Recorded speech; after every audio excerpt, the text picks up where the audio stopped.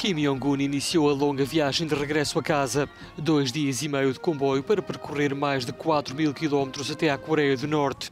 E apesar dos sorrisos na hora de se despedir do Vietnã, não se pode dizer que a viagem tenha sido um sucesso.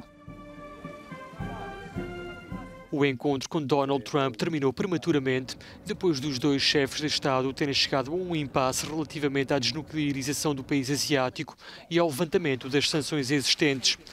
Pyongyang e Washington evitam falar em fracasso e destacam o avanço obtido nas negociações, mas não deixam de se culpar mutuamente pelo impasse verificado. Ambas as partes continuam, no entanto, abertas ao diálogo. Antes de deixar o Vietnã, Kim Jong-un não deixou de prestar homenagem a Ho Chi Minh, herói do regime comunista vietnamita que se chegou a reunir com o seu avô nos anos 60.